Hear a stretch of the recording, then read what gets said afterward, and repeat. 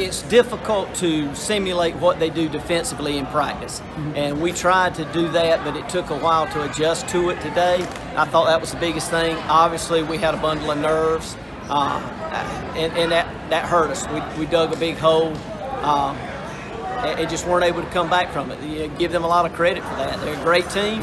Uh, they're back-to-back state champs for a reason. Um, but I, I, felt like that uh, all except that first quarter, we gave them all they could handle, and um, we just we weren't able to execute what we wanted to do early, and, and, and, that was the difference in the game.